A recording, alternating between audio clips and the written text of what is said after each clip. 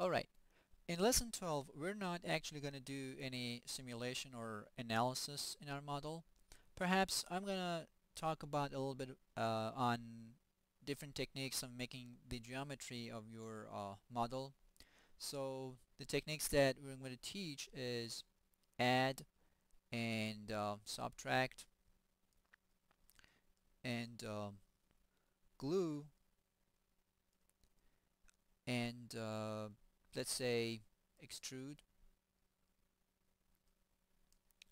Basically you will use these techniques when you have a little bit sophisticated model or geometry uh, to analyze. And uh, you have to go through these uh, either of these processes or steps to define the geometry of your material uh, of your model from the basic uh, geometries that you make. Let's say you have a square like this and you have a circle in the middle of it and you want to have you want to subtract this uh, square from the um, or, or circle from the square. Well let's say you have another square and you have a circle like this and you want to add these two together and, and to make them one um, uh, geometry or one model or if you remember in lesson in one of the lessons that I was uh, working on or I was doing this uh, composite beam heat uh, thermal expansion or thermal or temperature expo exposure to a composite beam when I def define these two areas I glued them to each other uh, along this line so that these two areas or these two materials would be regarded as one or one material um, or one element of two materials.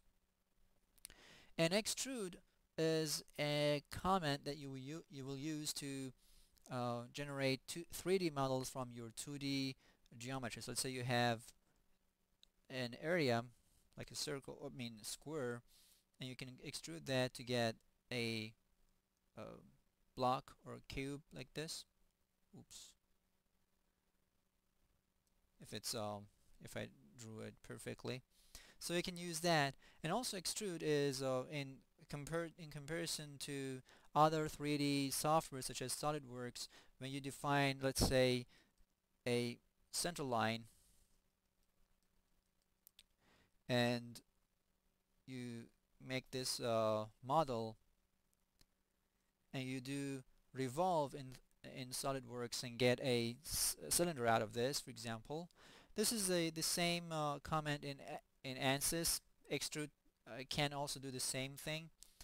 That so I guess for extrude I will have a full lesson later as well to show you how you can generate different models using this uh, or different 3D models uh, from your 2D uh, geometries or uh, models. So let's go to ANSYS and practice some of these modeling techniques today. Okay. Uh, we're in ANSYS. I go to preprocessor. And as I said, because I'm not going to do any simulation today, so I can skip element type, real constants, material, and just jump into modeling section. For the first uh, example, let's uh, make two areas, a rectangle by two dimensions. Let's go from, let's say, minus 5 to plus 5 in x direction and minus 5 to plus 5 in y direction. So we have a square in here. And let's make a circle by dimensions, um, or yeah, I can do it by dimensions. Or I can also pick a solid circle here. Say wx and wy. So these are the uh, parameters for the center of the uh, circle. I put it at 0 and 0. And for the radius, I'm going to give, uh, let's say, radius of 2 and click OK. So we have 1, 2 areas. So if I come to list areas, I have area 1 with these uh, parameters. So this is there is no element size, no nodes, no elements because and no materials because I didn't define anything in, in terms of uh, element or material or real constant. So these these are all zero. I have one, two, three, four lines for this uh, uh, area, which is my rectangle or square in here. And area 2 is a circle. And the circle is also made out of four lines. So each quarter of this uh, circle is one line, but they're arc lines, not straight lines. So if I come to numbering and say, give me the numbers of areas, area number 2 is in here, and area number 1 uh, actually is in here too at the center. So the center of the area, number 1, is actually at the same place. That's why we don't see that one. If I come back to here, numbering and turn off area numbering and turn on line numbering, I will see L1, 2, 3, 4, the four lines for the square and the four lines for the circle. I want to turn off the uh, line numbering as well. Now let's try to subtract, subtract the circle from this square. So what I have to do is to come from create to operate, booleans, subtract, and areas. Gonna pick the first one is the square I'm gonna pick. So I'm gonna basically because I'm gonna subtract this circle from the square. So I pick the square first. And it's asking me that there are two areas that you can pick. Which one do you wanna pick? So if I click next, the circle is gonna be picked. Again, next, the square is going to be picked so I click OK for the square OK for this one then I'm going to pick this circle click OK and OK now the circle is being subtracted from my square if I come to a list and areas again so I only have one area left which is area number 3 with one, two, three, four. Oh, okay, one, two, three, four and 6, 5, 8 the numbering is not uh, in order. So th these are the line numbers that I have. 8 lines for this uh, uh, square for this area which is not a uh, filled or solid square anymore two loops the first loop is uh, the square the second loop is the circle and again there is no element sizes or nothing uh, defined for me but there's only one area left. So if I come to plot numbering for areas, I will only see area number 3, which is the only area that I have. So ANSYS goes ahead and uh, increments a number, number for area as I uh, delete or add or um, do stuff with that. So this is the first one. Basically you can just pick uh, or do uh, or create geometries and then use subtract to remove parts of it from the entire area. Now let's go and try some add uh, function in here. So I'm gonna come to delete areas and below which means it removes areas and lines and key points that were generated to make this entire thing and pick all so everything is gone. If I or if I plot, let's say, areas. So these lines are probably nothing. Let's come back and create another rectangle by dimensions again and let's say at the same dimension click OK. I have A1 because probably numbering for areas is on. Yep I'm gonna close or turn it off. Now let's make another circle, solid circle, at x of minus 5 or plus 5 and z of 0 and the radius of 5 or y of 0.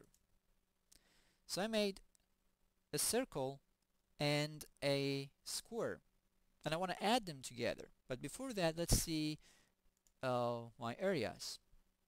I have again two areas with four lines each and none of them has any element sizes or nodes or elements. Going back to operate, add, and again areas, I can pick this and this, click OK, so I only have one area. If you see the lines here, the this uh, right hand side line of the circle square and the two lines on the left portion of um, the circle are lost or gone. as, as well as the key points that were uh, strictly for those lines. So if we come to list and areas, I only have one area left, which is area number 3, with one, two, three, four, five lines. Let's see how. Numbering. So number line number 1, 2, 3, 4, and 5. Uh, so basically num line number 2 was uh, deleted as well as line number 5 and uh, 6 so ANSYS kept incrementing the number of uh, line numbers so it came 1 2 3 4 and then 5 6 7 and 8 were used so it's re resumed from 9 and 10 so I have five lines defining this uh, uh, geometry or area. Let's add, add another circle.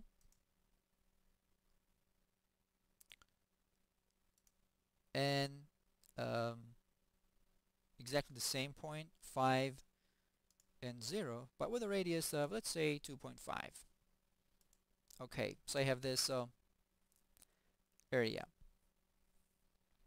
Now let's get back to operate and let's uh,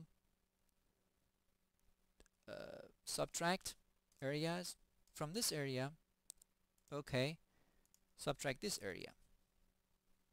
So again I made this uh, area which is my uh, new area. And let's go to extrude areas along normal let's say. I pick the area that I want click OK.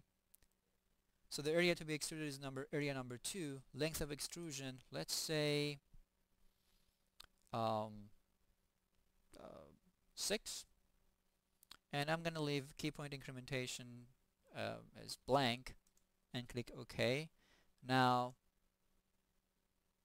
I have uh, a 3D model in here which basically I can if I had defined elements and material I could load this and do analysis on this one or simulation but this is not for today's purpose. So let's delete this thing also or let's come here clear and start new. Click OK and yes. And let's get back to modeling and create two areas. I'm gonna make two rectangles.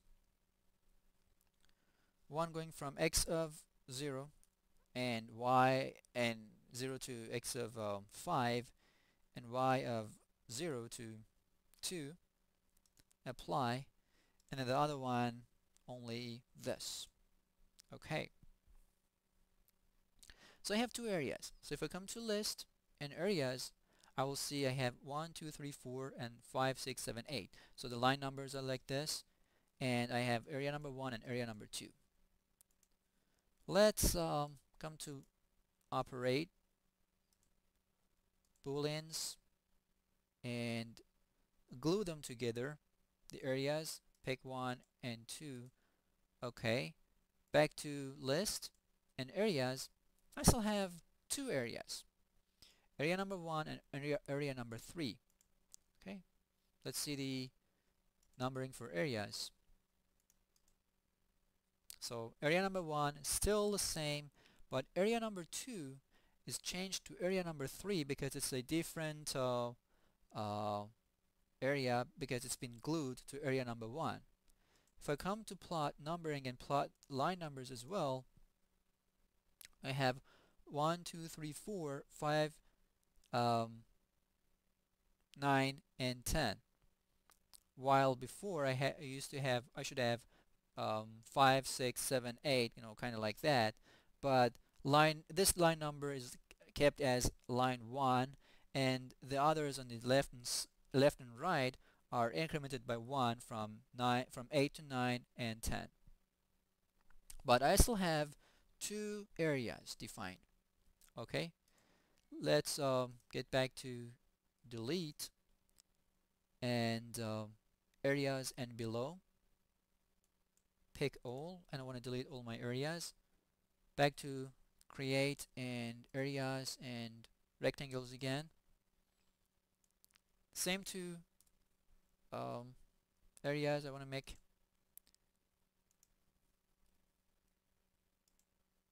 so if you see I have line number 1 and 7 are in the same spot. Number 2 number 3 number 4 5 6 7 and 8 so I have two areas area 1 and area 2 with four lines each. Now let's see what happens if I add them together. So come to operate booleans add areas 1 and 2 okay. So I just get one area which is called area number 3 with uh, 1, 2, 3, 4, 5, 6 lines. So the line in the middle or the lines in the middle are deleted uh, but the lines on the sides are not deleted or are they're not even joined or added together to make one line so they're like two lines on each side uh, on, on, on the left and on the right and one one line in bottom and one line in the uh, in the top part of this uh, area that I just made. And again I can um, probably draw an another circle or an another area in here and get rid of it I mean or remove it from there.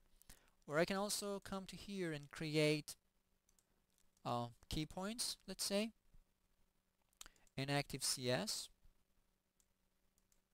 from the x of um, 2 and y of 0 let's say apply to the x of um, um, let's say 4 and y of 0 apply. So 2 and 4 let's make x of 3 and y of um, 2 okay. Or let's delete that key point this one and create another key point at the y of 1 because it's uh, almost out of the uh, geometry. And now let's uh, create a line or lines, straight lines.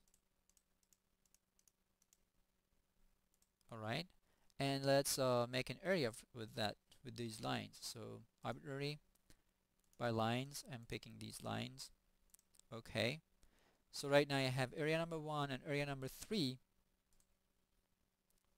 Let's um, get back to delete or no operate subtract areas. This one first okay. This one second okay. So I have a new area with this triangle being uh, subtracted from the overall area. So if I come to list areas I will see I have area number 2 with two loops in it the first loop has one, two, three, four, five, six lines and the second loop has 3 lines because the second loop is this uh, triangle basically. And um, there are other things that we can do is reflect. That's kind of like the mirror thing that we could do, but um, I think I will uh, keep this uh, for another lesson. And also we'll explain more in the extrude part later how to make uh, 3D models from your 2D models. And I will leave you with um, just um, these examples of how to add and subtract and glue. And also you learned what what is the difference between um, gluing the boolean section the difference between add and glue. So basically when you use add to add uh, more than one areas to each other there will be one area left or one one area created. But when you glue more than one areas the number of areas is not going to change but the attributes are changing only. So this is the conclusion to lesson 12